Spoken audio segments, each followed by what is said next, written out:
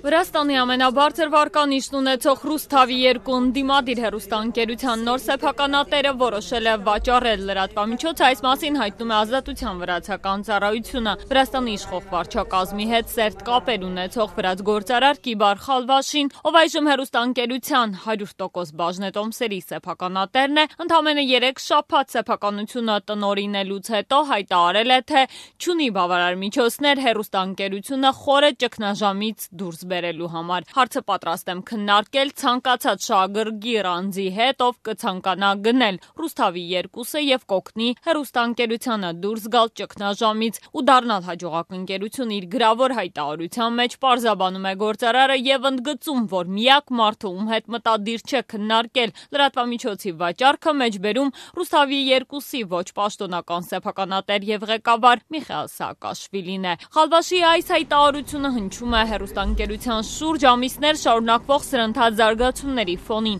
Վրաստանի թերևս ամենաազդեցիկ այս լրատվամիջոցը հայտնի է իշխանությունների հասցեին իր կոշտ քննադատությամբ։ Ռուսթավի 2-ի ոճը Վրաստանում շատերին է զայրացրել եւ անթակույց եղել է ընդդիմության քարոշչամեքենան։ Այս հերոստանգերությունը հաճախ համեմատում են Իմեդիի հետ, որի սեփականատերը մեծահարուստ գործարար եւ քաղաքական հավակնություններ ունեցող Բադրի Պատարկացաշվիլին 2004 2004-ից 2008 թվականներին այն օգտագործում էր որպես քաղաքական գործիք իշխանության հասնելու ճանապարհին։ Վրացական ներկայիս իշխանությունների կարծիքով Ռուսթավի 2-ը ծառայում է բացառապես նախկին նախագահ Սաակաշվիլիի շահերին եւ նրա քաղաքական ախորժակին հագուր տալու համար հաճախ դիմում է ընդունված ու անընդունելի մանիպուլյացիաների։ Հենց այս մեղադրանքներին զուգահեռ էլ ծագեց վեճ ում է պատկանում լրատվամիջոցը։ Անցած ամիս Մարդու իրավունքների Եվրոպական դատարանն ի վերջո պատասխանեց այդ հարցին։ Հերոստանգերության բաժնետոմսերի 60%-ը պատկանում է գործարար Քիբար Խալվաշին, ով հերոստանգերության սեփականատերն էր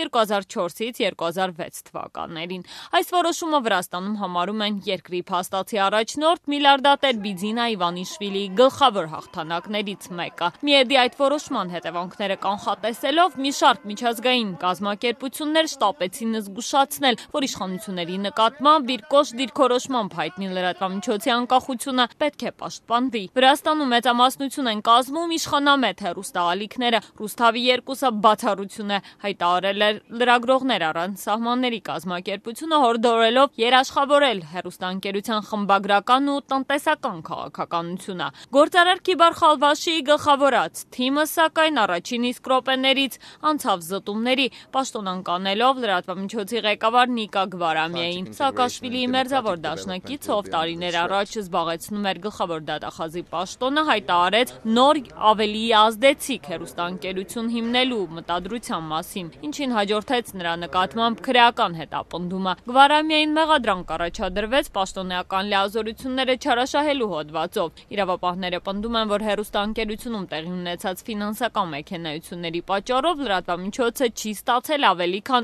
2 միլիոն եվրո։ Ռուսթավի 2-ի նախկին ղեկավարը կտրականապես հերքում է բոլոր մեղադրանքները։ Ֆինանսական աղետալի վիճակում հայտնված լրատվամիջոցը վաճառելու մտադրությունը վրաց փորձագետ Գիա Խուխաշվիլին Interpress News-ի հետ զրույցում ծիծաղելի է որակել։ Պատկերացրեք դուք ունեք կով, որը ձեր խոսքերով Սիբիրախտով է տարապում, բայց ցանկանում եք վաճառել 1000 լարիով։ Ինչ որ մեկը այն կգնի, քաղաքագետ Վախթանգ Ձաբիրաձեն կարծում է, որ իշխանությունն արդեն ունի հերոստանգերության գնորդ ոլորտի թեկնածու, դա կլինի կողմնակի անձ, սակայն անկասկած իշխանության հետ կապեր ունեցող։